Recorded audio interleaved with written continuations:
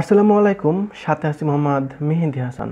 আমরা আজকে নবম, দশম শ্রেণির সাধারণ গণিতের সেট ফাংশনের প্রথম যে অধ্যায়টা, শুধুমাত্র সেট সেটের এক নম্বর প্রশ্নের সমাধানটা করব।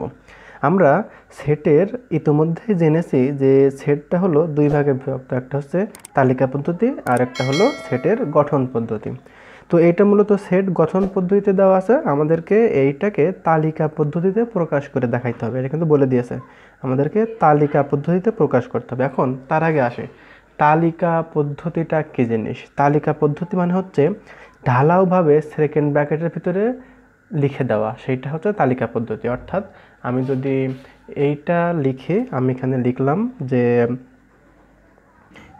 এক, দুই, তিন, চার এটা যদি লিখে, এইটা হচ্ছে সেট তালিকা পদ্ধতিতে প্রকাশ। অর্থাৎ এইখানে কোনো শর্ত দেওয়া থাকবে না। আর শর্ত দিয়ে লেখা, যেমন এটা x square greater than nine এটা হচ্ছে সেট গঠন পদ্ধতি। তাহলে আমরা অবশ্য তালিকা পদ্ধতি, সেট গঠন পদ্ধতি সকলে জানি তবু আরেকবার আরেকবার রিভিউ করা দিলাম যাতে তোমাদের বুঝতে সুবিধা হয়। তো এখন আমরা ক এবং খ এই দুটো সমাধান করব। তো ক নম্বরটা আমরা আগে দেখি। ক নম্বরটা বলেছে যে এক্স এটা হচ্ছে বিলং টু বিলংস টু অথবা এলিমেন্ট অফ এটা হচ্ছে এক্স বিলংস টু এন এর মানে হলো এক্সটা হলো এই এন এর অন্তর্ভুক্ত। এখন এনটা কি? এই এনটা বলতে বোঝায় ন্যাচারাল নাম্বার ন্যাচারাল নাম্বার অর্থ হচ্ছে স্বাভাবিক সংখ্যা। এখন স্বাভাবিক সংখ্যা কোনগুলো? আমরা যখন প্রথম অধ্যায়ের বাস্তব সংখ্যা ক্লাস করেছি, তখন একটা বেসিক ক্লাস করেছিলাম। সেইখানে এন জেড কিউ আর এগুলো সব ব্যাখ্যা করা হয়েছিল। তুমি আবারও বলি এনটা বলতে স্বাভাবিক সংখ্যা বোঝায় এবং স্বাভাবিক সংখ্যা হলো আমার এক থেকে শুরু শূন্য না কিন্তু, শূন্য স্বাভাবিক সংখ্যা না। এক থেকে শুরু এক, দুই, তিন। এইটা অগণিত, এর কোনো শেষ নাই। এর শেষ নাই এজন্য ডট ডট দিয়ে আমি ব্র্যাকেট দিয়ে শেষ করে দিয়েছি। অর্থাৎ এক, দুই, তিন চলতেই থাকবে। তো স্বাভাবিক সংখ্যা আমার শুরু হলো এক থেকে। তাহলে এখানে যেটা বলেছে যে আমার এক্সটা হলো স্বাভাবিক সংখ্যার অন্তর্গত একটা সেট যেইখানে এক্স স্কোয়ারের মানটা, অর্থাৎ এক্সের যে মানটা হবে, সেটা হচ্ছে, তার বর্গটা হবে নয় থেকে বড়। নয় থেকে ছোট হবে না, নয় থেকে বড় সকল সংখ্যা হবে। আর এইখানে এক্স কিউবটা হলো একশো তিরিশ থেকে ছোট, অর্থাৎ এই এক্সের যদি কিউব করি, সেটা একশো তিরিশ থেকে ছোট হবে। তাহলে কোন কোন সংখ্যার জন্য আমার এই এই শর্ত এবং এই শর্ত, দুইটা শর্তই ফিল আপ করে। সেইটা হবে আমার সেট সেই সেটকে আমাদেরকে এভাবে সেকেন্ড ব্র্যাকেট দিয়ে এর ভেতরে যে কয়টা হবে, সেই কটা সংখ্যা লিখতে হবে।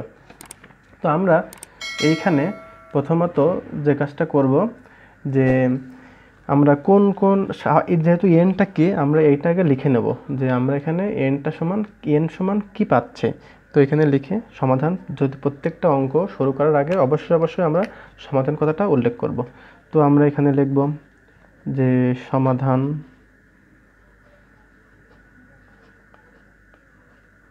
সমাধান। আচ্ছা এইখানে স্বাভাবিক সংখ্যার সেট যেহেতু এন তো আমরা এখানে লিখে নেব স্বাভাবিক সংখ্যার সেট স্বাভাবিক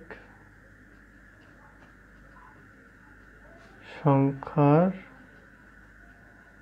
সেট স্বাভাবিক সংখ্যার সেট এন সমান কি জানি? এন সমান জানি এক, দুই, তিন অনেকগুলো। এজন্য আমি আর না লিখে এই বন্ধু লিখে দিলাম। এক, দুই, তিন, এগুলো চলতে আছে। এখন দুইটা শর্তই ফিল করে কোন কোন, কিসের কিসের জন্য আমরা সেটা লিখব। এখন এক্সের এই এক্সের মান কিন্তু এক হইতে পারে, দুই হইতে পারে, তিন হইতে পারে, ডট ডট আরও অনেক কিছু হইতে পারে। তো আমরা প্রত্যেকটা চেক করে দেখব কার জন্য এই বর্গটা এক্সের বর্গটা নয় থেকে বড় হয় আর এক্সের ঘনটা একশো তিরিশ থেকে ছোট হয়। কোন কোন সংখ্যার জন্য? সেটা আমাদেরকে আইডেন্টিফাই করতে হবে। তো যদি এক্স ইকুয়াল টু ওয়ান হলে, প্রথমটার জন্য এক্স ইকুয়াল টু ওয়ান হলে, দেখো, এই এক্স স্কোয়ারের মানটা সমান কত হয়? এক্স স্কোয়ার কিন্তু আমার ওয়ান স্কোয়ার সমান কত? শুধু ওয়ান হয়। বলো তো এই ওয়ানটা নয় থেকে বড় না ছোট? অবশ্যই নয় থেকে ছোট। তাহলে আমার চিহ্ন এইটা দিতে হবে। দিয়ে আমরা যেহেতু এটা নয় থেকে বড় না, এজন্য এটা দাগ দিয়ে কেটে দেব। আচ্ছা। আমার শর্ত দুইটা ছিল এবং এবং দেব এবং দিয়ে এটাও লিখে দেব যে এক্স কিউব এক্স কিউব মানে কত?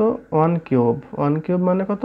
ওয়ান কিউব মানে হলো ওয়ান ওয়ানটা কিন্তু এইখানে একশো তিরিশ থেকে ছোট। এটা আমার ফিল আপ হচ্ছে। এখন কথা হচ্ছে যে আমাদের এইটা এবং এইটা দুইটাই ফিল আপ হইতে হবে একসাথে। এই যে একটা আমার এইখানে এই শর্ত মিলতেছে না, আবার এখানে একটা শর্ত মিলতেছে, তাহলে হবে না। যখন দুইটাই ফিল আপ হবে, তখন আমি কেবলমাত্র সেইটা নিতে পারব।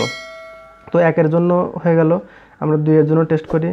যদি দুই হয়, তাহলে সেই ক্ষেত্রে আমরা এখানে লিখতে পারি যে এক্স স্কোয়ার সমান দুই স্কোয়ার তো দুই স্কোয়ার করলে হয় চার।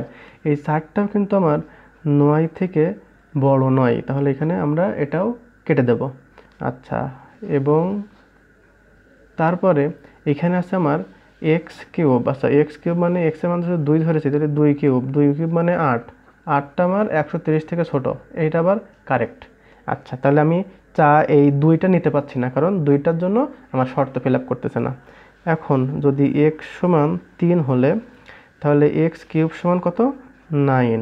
Sorry three square equal to nine. তাহলে থ্রি স্কোয়ার যদি নাইন হয়, আমার এখানে বলেছে নয়, নয়ের সমান হলে হবে না, বড় হইতে হবে। তা নয় কি নয় থেকে বড়? নিশ্চয়ই না। তাহলে এটা আমরা কেটে দেব। এবং এখানে এবং লিখব, এখানে লিখব এক্স কিউব সমান তিন কিউব তিন কিউব সমান কি জানে? তিন কিউব সাতাশ। সাতাশ কিন্তু একশো তিরিশ থেকে ছোটো। এইটা কিন্তু আমার প্রত্যেকটার জন্য ফিল আপ হচ্ছে, কিন্তু প্রথমটা মিলতেছে না। তাহলে আমি তিনও নিতে পারছি না। এখন যদি এক্স ইকুয়াল টু চার হয় এক্স ইকুয়াল টু চার হলে x to the power four মানে কত? ফোর এখানে সরি এটা এক্স স্কোয়ার ছিল, এটা এক্স টু ফোর না, এটা এক্স স্কোয়ার হবে। তাহলে এক্স স্কোয়ারের যে মানটা, সেটা হলো আমার এখানে ফোর স্কোয়ার ফোর স্কোয়ার মানে কত? ষোলো। এখন একটা জিনিস দেখো, ভালোভাবে খেয়াল করে দেখো। আমার কিন্তু ষোলোটা নয় থেকে বড় আসতে চায় ষোলোর যে মানটা আছে, সেটা কিন্তু আমার নয় থেকে বড়। এখন এক্স এখানে আমার যদি আমি কিউব দেই, তাহলে কিউবের যে মানটা, সেটা হচ্ছে চার কিউব চার কিউব কত? চার কিউবের মানটা কিন্তু চৌষট্টি। চৌষট্টিটা কিন্তু আমার একশো তিরিশ থেকে আবার ছোট। তাহলে এইটা ফিল হচ্ছে। এখন এর পরে এখানে যেমন হয়েছিল যে আমার একটা ফিল আপ হচ্ছিল, একটা ফিল হয় নাই। এখানে কিন্তু দুইটা ফিল হয়ে গেছে। এখন পরবর্তীতে দেখব যে কতক্ষণ এটা বজায় থাকে। এক্স সমান ফাইভ হলে এক্স স্কোয়ার সমান ফাইভ স্কোয়ার সমান পঁচিশ। পঁচিশটা কিন্তু আমার নয় থেকে বড়। এবং এইখানে কিন্তু আমি দেব যে এক্স কিউব সমান ফাইভ কিউব ফাইভ কিউবটা সমান কত জানে? একশত পঁচিশ। একশো পঁচিশ আবার একশো তিরিশ থেকে ছোট। তাহলে পাঁচের জন্য এটা ফিল আপ হচ্ছে। এবার আমরা ছয়ে যাব। এক্স সমান সিক্স হলে। তাহলে এক্স স্কোয়ার সমান সিক্স স্কোয়ার সমান ছত্রিশ, ছত্রিশটা মান নয় থেকে বড়, এটা ঠিক আছে। এবং দেব এখানে এক্স কিউব সমান ছয় কিউব। এখন ছয় কিউব সমান জানি আমরা দুইশো ষোলো। এখন জিনিস দেখো, দুইশো ষোলো কিন্তু একশো তিরিশ থেকে কি ছোট? ছোট না, নিশ্চয়ই ছোট না। এই জন্য আমরা এইখানে একটা দাগ দিয়ে এটা ছোট নয় দেখাই দেবো। এখন দেখো, একটা শর্ত, এরপরে আমি যতই করি, আমার একশো তিরিশ থেকে কিন্তু বড় হইতেই থাকবে। তাহলে আর করার প্রয়োজন নাই। আমরা এখানে দুইটা নির্দিষ্ট ডিজিট পেয়ে গেছে। এই চার এবং পাঁচের ক্ষেত্রে কিন্তু আমার এই এই শর্ত এবং এই শর্ত দুটাই ফিল আপ করতেছে। এইখানেও ফিল আপ করতেছে, এইখানেও ফিল আপ করতেছে। শুধুমাত্র চার এবং পাঁচের ক্ষেত্রে এটা সম্ভব, অন্য কোনো ক্ষেত্রে সম্ভব নয়। এই জন্য আমরা এখানে লিখব শর্তানুসারে গ্রহণযোগ্যতা সংখ্যাসমূহ। শর্তানুসারে গ্রহণযোগ্য সংখ্যাসমূহ সংখ্যাসমূহ কী কী? চার এবং পাঁচ, চার এবং পাঁচ। তাহলে আমার সেটটা কী হবে?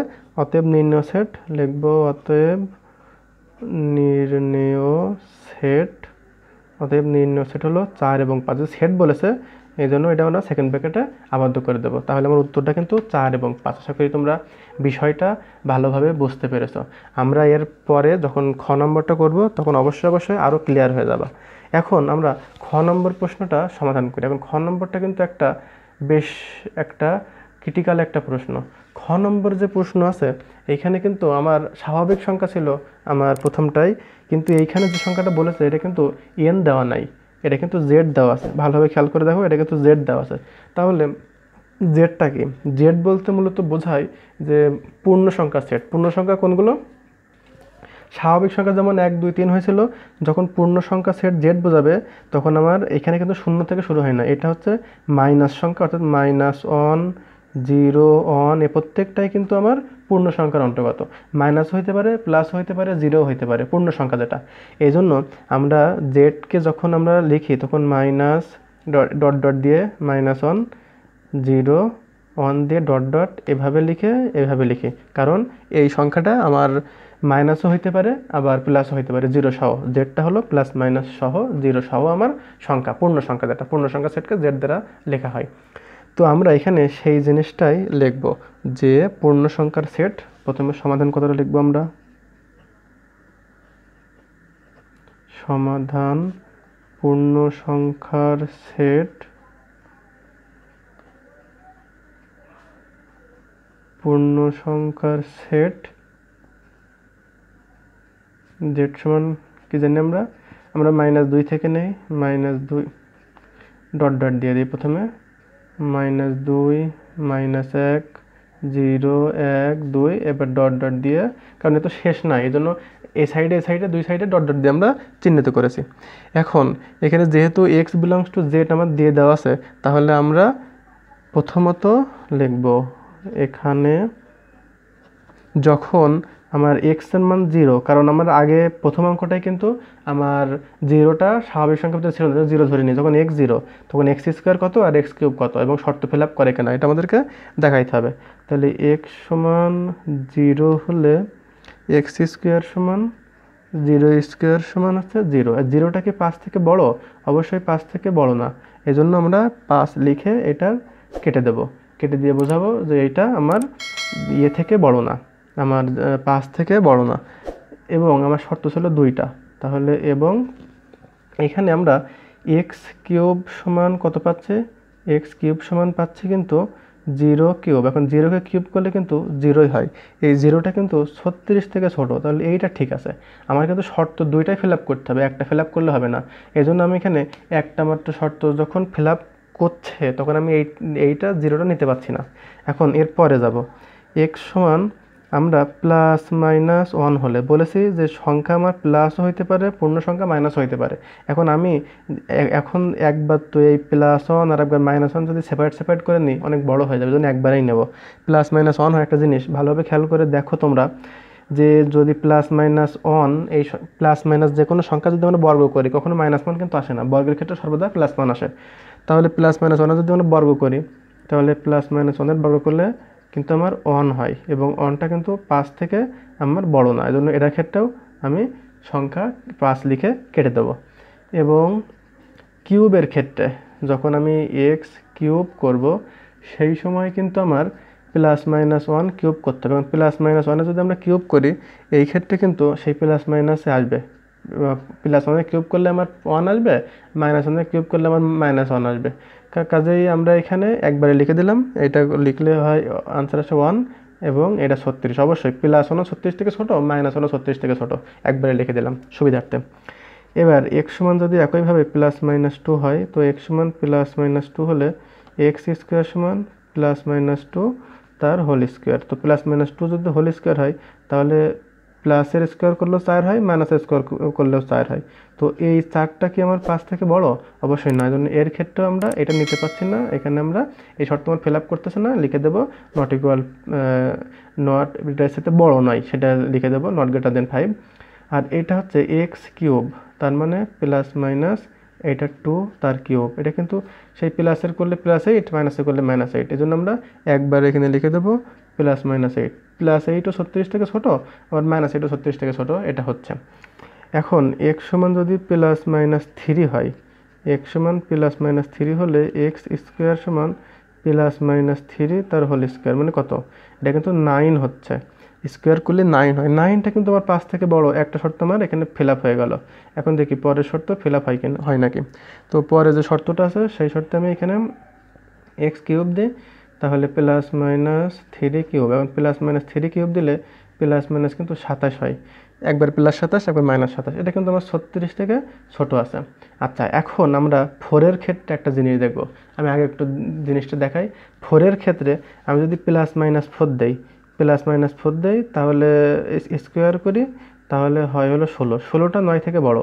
কিন্তু আমি যদি প্লাস মাইনাস ফোর দিয়ে যদি কিউব দেই, তাহলে একটা মান আসে হলো প্লাস নিলে হলো প্লাস চৌষট্টি আর মাইনাস নিলে আছে মাইনাস চৌষট্টি। এখন এই ছত্রিশটা আমি এখানে যদি আমার শর্ত জুড়ে দেয় তাহলে শর্ত দিলে কিন্তু এইটা আমার কারেক্ট মান। কিন্তু এইটা আমার কারেক্ট মান না।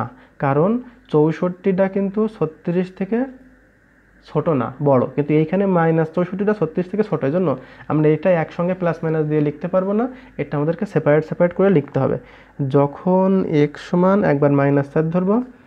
এক্স সমান মাইনাস চার হলে এক্স স্কোয়ার সমান মাইনাস চার হোল স্কোয়ার সমান ষোলো, অবশ্যই পাঁচ থেকে বড়, এবং লিখে দেবো এক্স কিউব সমান মাইনাস ফোর কিউব সমান মাইনাস চৌষট্টি যেটা ছত্রিশ থেকে বড়, এটা কারেক্ট কিন্তু এক্স সমান যদি আমরা ফোর লিখি এক্স সমান ফোর হলে এক্স স্কোয়ার সমান চার স্কোয়ার সমান ষোলো, এই, এইটা কারেক্ট এবং এখানে যদি এক্স কিউব নেই, এইটা হলো আমার ফোর কিউব ফোর কিউব মানে চৌষট্টি। এইখানে ঝামেলা বাড়তেছে। এইটা কিন্তু ছত্রিশ থেকে আমার ছোট না, ছত্রিশ থেকে বড়। এইটা আমার ফিল আপ করলেও এইটার, এইটা শর্ত ফিল আপ করতেছে, কিন্তু এই শর্তটা আমার ফিল আপ করতেছে না। তাহলে এখানে কিন্তু আমি এই প্লাস চারটা নিতে পারছি না। অর্থাৎ এখানে মাইনাস চার থেকে সকল ছোট ঋণাত্মক পূর্ণ সংখ্যা প্রদত্ত শর্ত পূরণ করে। তাহলে আমরা লিখে দেবো যে মাইনাস চার এসছে ছোট মাইনাস চার এর চেয়ে ছোট সকল ঋণাত্মক পূর্ণ সংখ্যা, সকল ঋণাত্মক পূর্ণ সংখ্যা, প্রদত্ত শর্ত